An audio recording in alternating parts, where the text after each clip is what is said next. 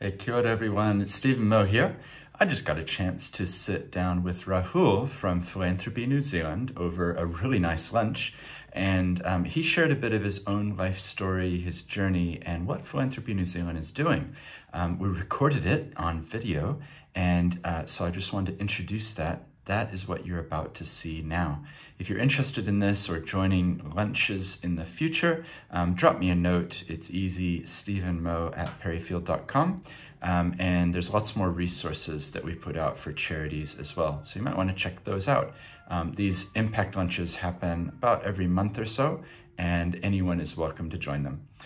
Ka kite anō. Uh, my name's Steven Moe, and it's a real pleasure to welcome you all to this lunch.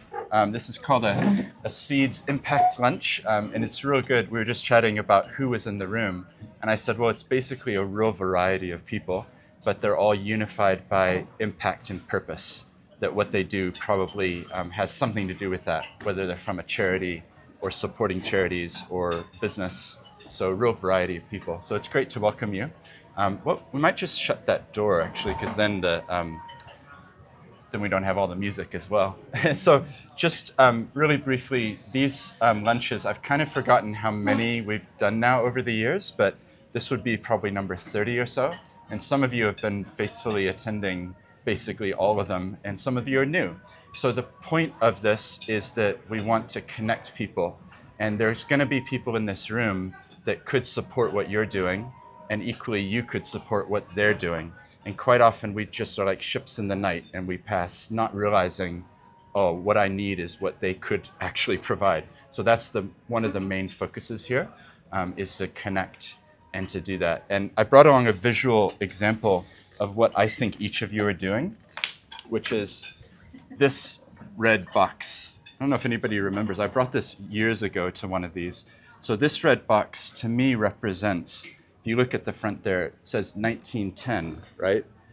This was my, I'll get quite a little bit wrong, but my great great aunt's box from Norway. It was handmade in Norway, that's Norwegian there on the front, and it was given to her. And it's lasted in our family now for, well, since 1910. It's a really long thing that's been special. And I think when we're crafting things in our work and in our lives, what are we creating and how are we doing it with creativity and doing it to make things that will last?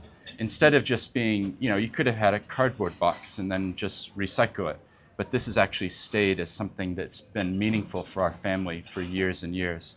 So in what you're doing each of you are doing important things. Always remember that like we have a lasting legacy and impact that we each can have so hopefully that little picture can be something you take away with you. Um, and then I also wanted to mention um, we have an author in our presence. So Sean, I know you're not going to like this, but I'm going to call out that you're here. Um, I didn't bring a copy of the book, but here's a little bit of information that you can come and look at later. It's called The Impact Professional. So Sean just released this. Was it a month ago? Yeah. Yeah, about a month ago. It's encouraging people to think about what you do in your work and how you can have impact. So you can have a chance to talk to him, um, local author doing some amazing mahi and work. Um, and then I wrote this book, so you're welcome to come and talk to me about it. It's called The Apple Tree. It's encouraging people that what you do matters, even if you don't see the results right away. So I'll put some copies around, you can have a look. I've got 3,500 copies in my garage that I'd like to like get out. So you can be my ambassadors. Um, and then the last thing is I'm doing Seeds podcast. So there's 393 conversations now with hmm. inspiring people. So when I follow up with this, I'll send a link and you can have a look. Subscribe, like, share, you know, all those things would be great. So thank you. So we're really lucky. We've got Rahul here from, you live in Wellington normally, mm-hmm. but down here in, in Christchurch. So I just thought we'll have a little korero talk um, and that way you can introduce sort of what's going on in your world and then have a chance to connect with people. Um, once we finish, we can then move around. Like, don't just sit where you are. Try to meet as many people as you can. I guarantee you, every person here has a story. So, um, can you just tell us a little bit about when did you start this position, for example? Well, that's an easy question, and thank you, Steven, for inviting me to to talk to you all and thank you for giving up a little bit of your lunch hour to, to listen to me. Um, so I started in PNZ uh, right at the end of last year, November, um, October, November last year. So not not long. Yep. Um, and uh, been busy trying to learn as quickly as possible. So the interesting thing to me is always people's life journeys. If anybody's listened to Seeds, they'll hear about that. Tell us a little bit about before this, what you've been involved in. Um, actually, your story of um, uh, of the red box really resonated with me. So I I was born in a small village in a small state with 55 million people uh, um, of Kerala in South India, uh, and for the first uh, four years of my life. Uh, my dad worked for a multinational company, so we traveled around the world. So I lived in London, Sydney, a little bit in Singapore, went back to India, to Bombay, and um, uh, I'll do a short version of this. I'll do a longer version of this, which is more boring. Uh, so I could keep it keep it short. Um, and we arrived back in, in Kerala when I was four, and uh, still now, but even back then, there were three types of schools that you could attend in Kerala. One was in the local language of Malayalam, the other one was lessons uh, delivered in Hindi, and the third type of medium was English medium schools. so everything was delivered in English. And for people who are attending school, there were three types of futures that you're guaranteeing yourself or hedging for yourself. One was if you learned a local language, you pretty much got a job in the state. If you learned Hindi, you might get a government job uh, and travel out of the state. If you learn English, that's the opportunity to leave the country. So you want to get your child into the English school. Now, Kerala for many decades uh, was a Marxist um, uh, government. It was a, fed- a, federal government like Australia and, and the so it's a Marxist-led state, which meant that it invested a lot in primary healthcare, primary education, self-reliance, renewable energy, and things like that. Uh, but it also meant that you couldn't really pay your way into the top schools. There was no facility to do that. But the top schools did have a, a means by which you could donate to attend the English medium school. And by this point, even by my dad, my family come, um, came from a lower middle class um, background, and lower middle class in India is extremely poor. Um, back then, it meant no running water. Um, the first fridges for my family were in 2013 14 for some members of the of family, running water sort of the early uh, 2000s um, on the back of some of the money I've been sending back. But he was too proud and uh, back in the 80s when I was four to pay a donation. He said, my, my boy is going to get in of his own back. And the way you do that is to write a scholarship exam at age four to get into primary school. Wow. Um, so, but I had um, typically you spend a whole year learning with a private tutor at age four to write the scholarship exam at the end of the year, and then you, you sit the exam, and if you pass the exam, you're in. I had a month. We arrived a month before the exam. My brains trust, my teachers were not a private tutor, but my grandma, my granddad. My granddad was the enforcer with a cane. And my grandma was the energy brains drink um, um, person who got milk from a village cow, unpasteurized, freshly milked um, milk from a village cow, and the drops of nectar from the stamen of a banana tree.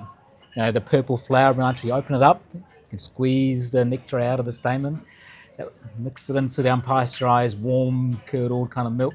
That was my brain food.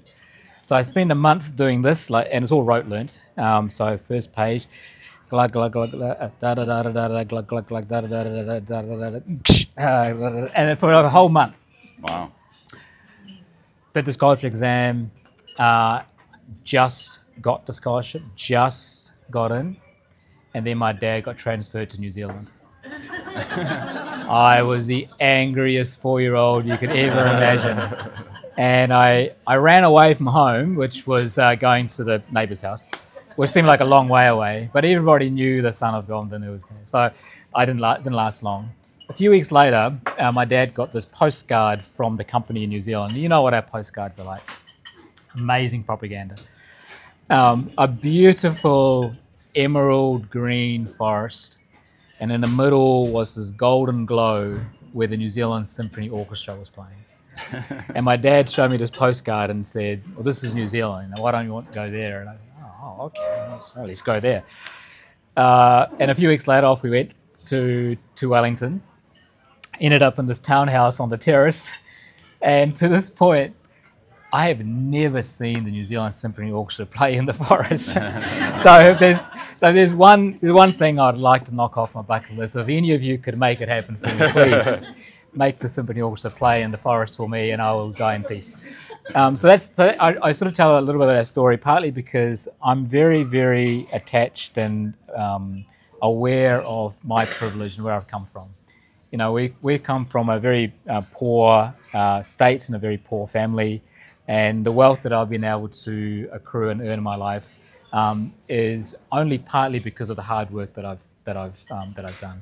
A considerable portion of that is just pure luck, uh, and I was made and I'm made aware of that every time I go back to India, and I meet people of my age who are living on the streets near the railway stations, behind the bus, bus stands, and the only thing that I, I did that they did not do was I was born to a different set of parents that was my very first leg up. And from that moment on, I've benefited from that trajectory. So I've never really forgotten that. The second thing I don't forget is I come from a family of young dyers. My dad died when he was 45, and I was just after I turned 16. His mum died when she was in the late 40s. His, his dad died. It's my one of my earliest memories is watching him die uh, in his like, early 50s. Most people in my family die in their 50s or before. So I've only got a few years left, maybe. Um, but I'm okay with that. You know, I might live a little, little, bit longer, but I'm acutely aware of the fact, despite that that you know story of, of young dyers, I know the impact that they've made on my life. You know, there's, there's a lot of uh, intergenerational knowledge, love, wisdom, stories, insights that they've passed on. It's not stuff. It's human stories, connections, experiences, memories.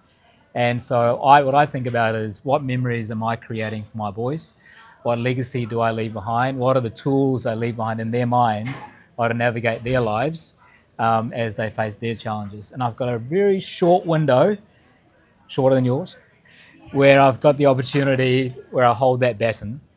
And uh, it's a very precious baton. So that's how I sort of present to most roles that I do, but in particular, this role, which is a very uniquely uh, very unique opportunity that I've got, and, uh, and, and I want to do justice to it while I'm while I'm in this seat. So kia ora for the long intro, but hopefully that does justice to to, no. to telling my story.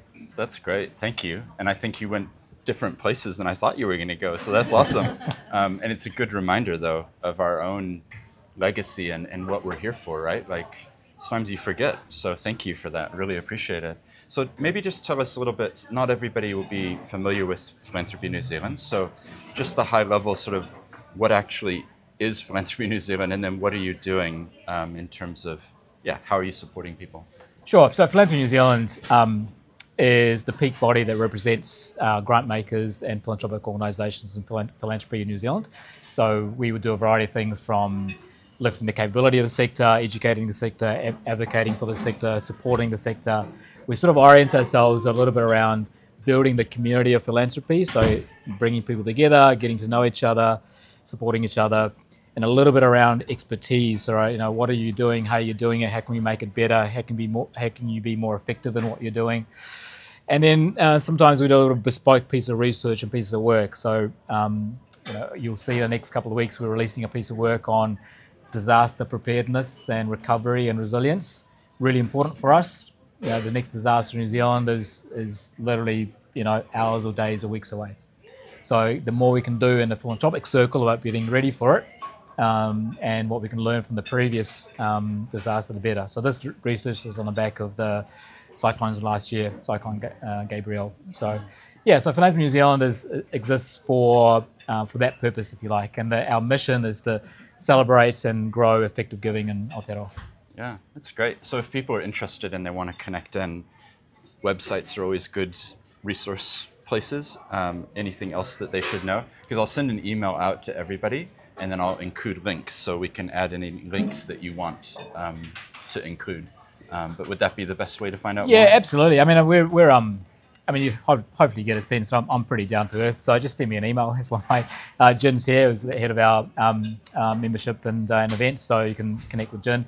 Um, but check check the website out. It's definitely an austere-looking website. We need to refurbish it, but we'll do that.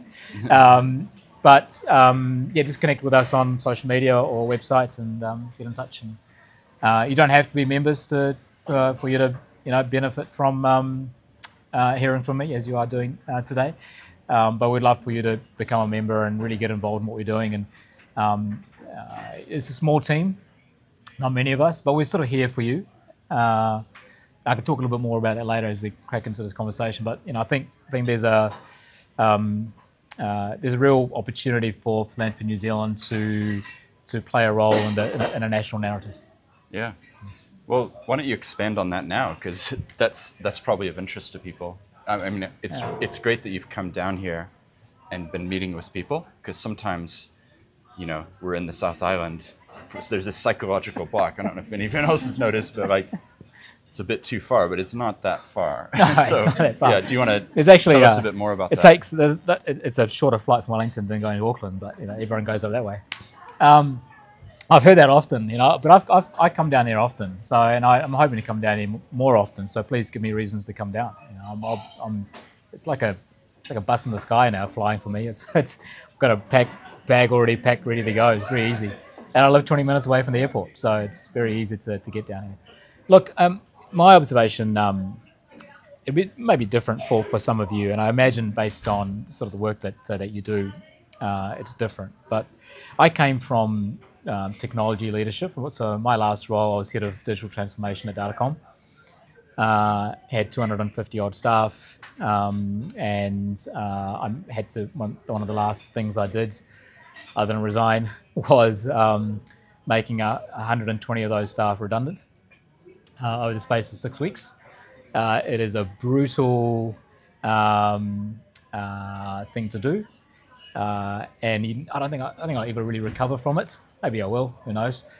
Um, but I didn't want, and they offered me a role somewhere else in the company, but I didn't want to be the boss that kept his job and you know let his people go. So, uh, so I left, uh, and but my observation of when I started this role was and even now, the, the, the national narratives that we have in this country are incredibly negative. The cost of living is high. Um, uh, the teachers are striking. The nurses are underpaid. The police are going to Australia. Um, the climate change isn't being addressed. The government is pulling out and, and, and funding in spaces that uh, it has been previously participants in a, in an incredibly um, swift and, um, and brutal fashion. Um, there's war going on everywhere. There's conflict going on. I- I- things are broken. We can't do stuff. You know, it's uh, there, there- there's a lot of these narratives. Um, but what I observed uh, since starting in this role, partly in trying to onboard myself and get to know people in, in our membership, was uh, there's an incredible group of people doing amazing work up and down the country, meaningful work in their local areas with everyday New Zealanders, connecting with other everyday New Zealanders, and bringing about amazing change.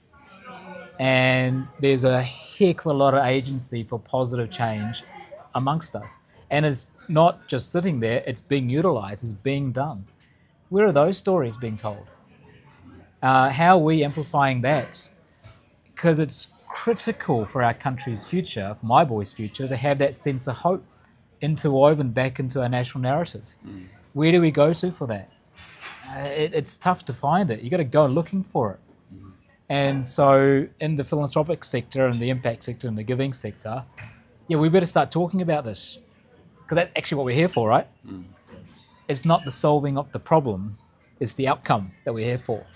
And let's tell the stories of how we're working, why we're working, who we're working with, what's what is working, uh, so that we give a sense of um, hope back into our citizenry.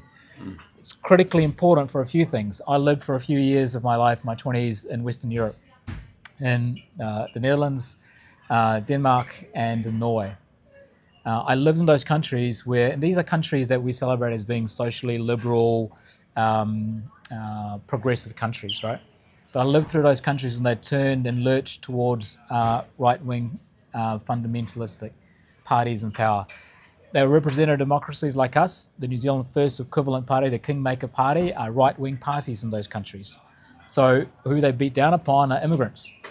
And I remember when I left Denmark, there was a national election going on, and I was sitting in a um, in a in an apartment room with my Danish friends, watching election ads, and uh, watching TV, and this ad came on, and it was a Danish woman walking down the street, blonde, blue-eyed, very stereotypical Danish woman, deliberately, pushing a pram down the street, and then from off camera, from an alleyway, jumps this black man, but not even a black man, a white person with black face, jumps out, takes the purse of the young mother, and runs away. And the Danske Folkeparti um, party candidate comes from off camera and says, Is this what you want the future of Denmark to be? If not, vote for us. and I, I laughed. I thought, That's a great parody. That is amazing. wonderful. But th- that was the ad. And then I asked my Danish friends, like, hang on, that's a joke, right? There's got to be a joke. No one, no one's going to vote for that. And two of them said, oh, we vote for them. I said, what? but you're my friends. You can't vote for that. And they said, oh, but they're not talking like people like you, Rahul. uh, it's it's the other people. What do you mean? Like, if I walk out there, I just look like that fella. Actually, he's, he's one of the old fellas with a black face. Um, so what do you mean? And so, and I, when I came back to New Zealand, I was really thinking about these sort of things about actually how do we create a society in New Zealand that understands and celebrates differences and diversity and utilizes that as a source of competitive advantage and strength in society rather than a source of dividing us mm. and tribalizing us. Um, and that that social cohesion is under enormous strain when the only narratives that are pre- prevalent in society is negative. So it's critically important that we start talking about and celebrating the good stuff that's going on. Mm. And so, in terms of the, the PNZ role and our role in, in that national narrative, yeah, we're here to celebrate um, uh, effective giving. Sure, we want to grow that giving, we want to uh, make it better and more effective, and uh, absolutely, that celebration bit is critically important for our country's future. Mm. That's great. It um, resonates with me because I've felt the same. You used the word hope there, and I felt the same. Like it's so every day. It's like negative, negative newspaper wise. So I went out to about ten charities that we've supported recently, and I said I want to know what are some examples of good things that are happening to you.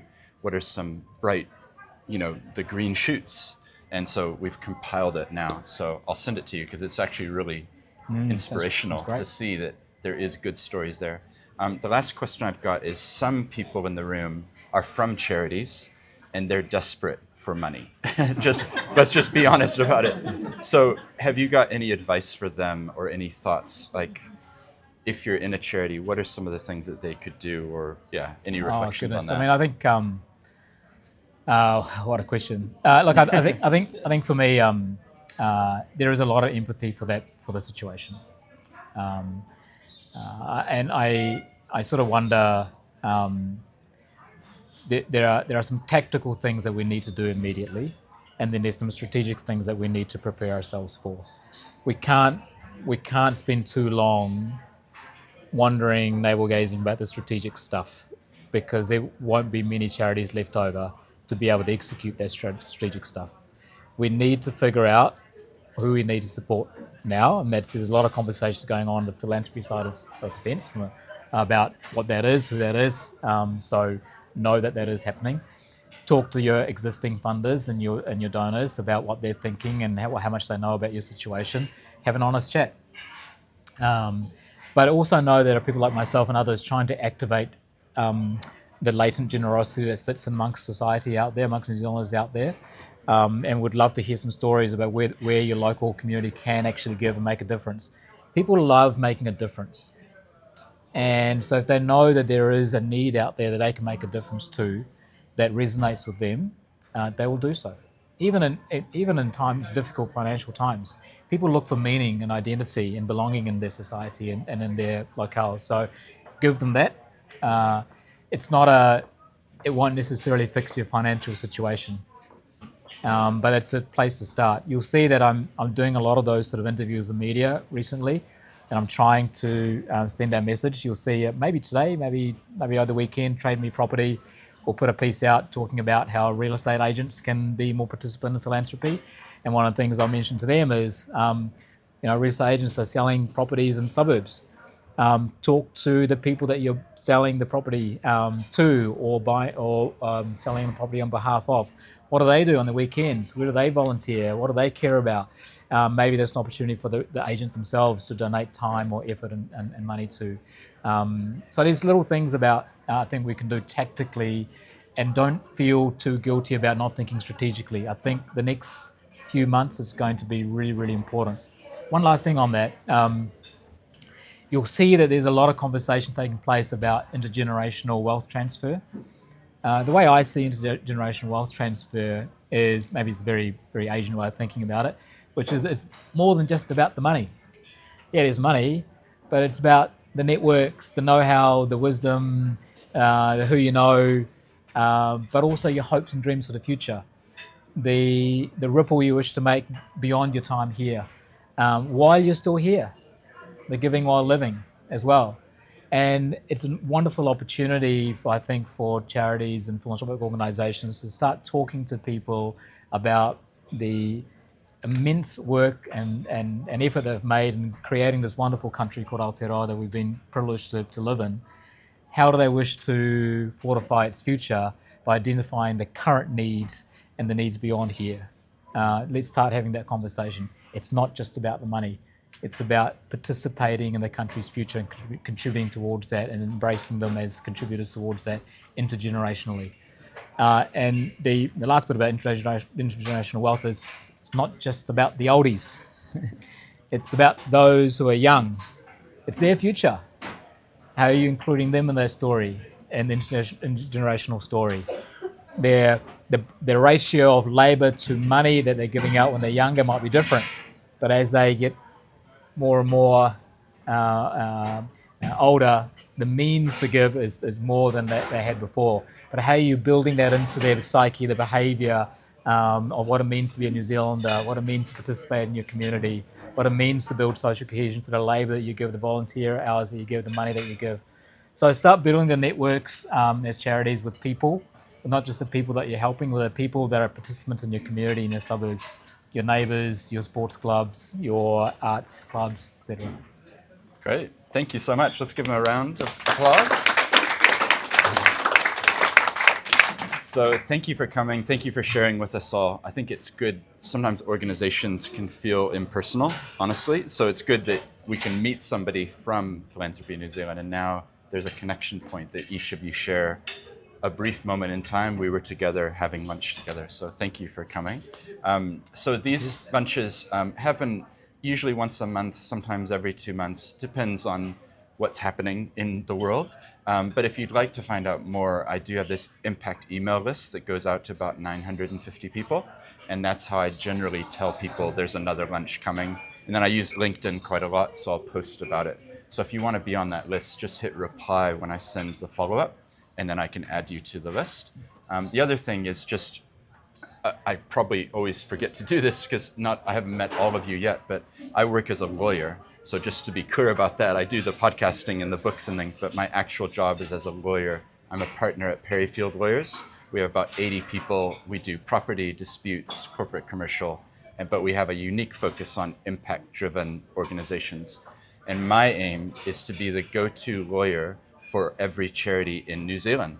So why not have a dream, right? And I think it's achievable because we've got an amazing group.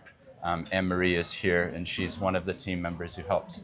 Um, so just to lay it out there, you will know people, and I know that you'll know other charities that need help and support. So please send them our way. We're really here. We want to support and help them.